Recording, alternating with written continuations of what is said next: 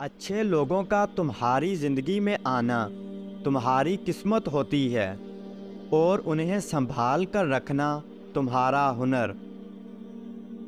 अपना सर ऊँचा रखो कि तुम किसी से नहीं डरते, लेकिन अपनी निगाहें नीची रखो, ताकि पता चले तुम एक बाइज्जत घराने से तल्लक रखते हो। मुश्किल वक्त आ जाए तो किसी का एहसान मत लो। क्योंकि मुश्किल वक्त चार दिन का और एहसान ज़िंदगी भर का होता है। कभी तुम दूसरों के लिए दिल से दुआ मांग कर देखो, तुम्हें अपने लिए दुआ मांगने की ज़रूरत नहीं पड़ेगी। जिसे तकदीर पर यकीन होता है, वो अपने ऊपर नाजल होने वाली मुसीबतों से नहीं घबराता। अपने दिन का आगाज़ सदका देने से शुरू करो। उस दिन तुम्हारी कोई दुआ रद्द नहीं की जाएगी, और अच्छी बात बताना भी सदका है। किसी के खलूस और प्यार को उसकी बेवकूफ़ी मत समझो, वरना किसी दिन तुम खलूस और प्यार तलाश करोगे, और लोग तुम्हें बेवकूफ़ समझेंगे।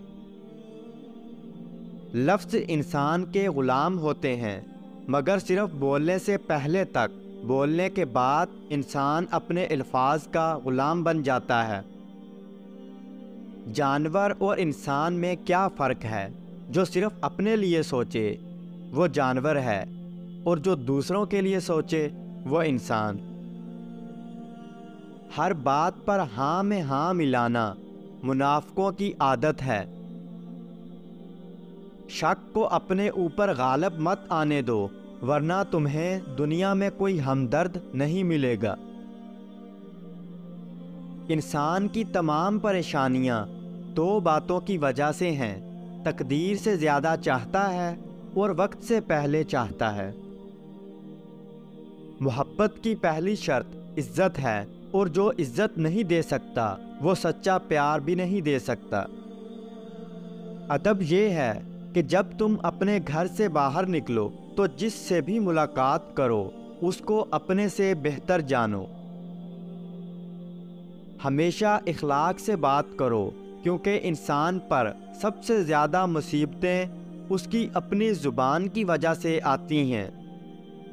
किसी को चाहना हो तो दिल से चाहो, ज़ुबान से नहीं, और किसी पर गुस्सा करो तो सिर्फ़ ज़ुबान से, दिल से नहीं। वो इंसान हमेशा गम में मुबतला रहता है, जो अपनी ज़रूरतें बढ़ा लेता है। इंसान ज़िंदगी में मायूस हो तो कामयाबी भी नाकामी नज़र आती है। हज़रत अली रज़ी अल्लाह तहों से पूछा गया कि इंसान बुरा कब बनता है? फरमाया, जब वो अपने आप को दूसरों से अच्छा समझने लगे। जाहल ना तो अपनी कमज़ोरी को समझता है और ना ही नसीहत करने वालों की बातों को कबूल करता है। करीबी रिश्तेदारों की अदावत बिच्छुओं के डसने से ज़्यादा दर्दनाक होती है। हज़रत अली रज़ी अल्लाह तहों से किसी ने पूछा, अगर कोई अपना हमें भूल जाए तो क्या किया जाए? फरमाया, कोई अपना हो तो वो कभी नहीं भूलता। और जो भूल जाए, वो अपना नहीं होता। सिर्फ़ पैसे का होना रिजक नहीं है। नेक उलाद अच्छा इखलाक और मुखलिस दोस्त भी रिजक में शामिल हैं। और तुम्हारी तकदीर उतनी दफ़ा बदलती है, जितनी दफ़ा तुम अल्लाह के आगे हाथ फैलाते हो। नसीहत दूसरों के हाल पर गौर करने से हासिल होती है। गुर्बत इंसान को अपने ही शहर में अजनबी बना देती है। अपनी खुशी के लिए किसी दूसरे की खुशी खाक में मत मिलाओ।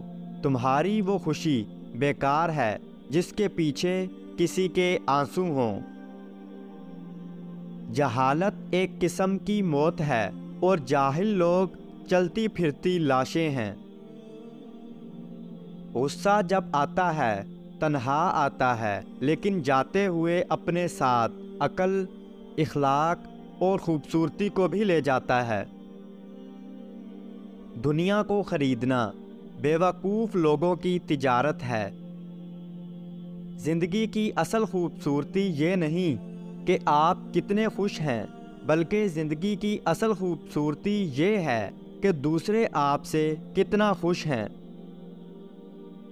जब रिज़क में कमी वाक़ होने लगे तो कसरत से अल्लाह से इस्तफ़ार किया करो। बुरे इंसान की सोहबत से परहेज़ करो, क्योंकि वो तलवार की तरह है, दिखने में खूबसूरत और असर में ख़तरनाक है।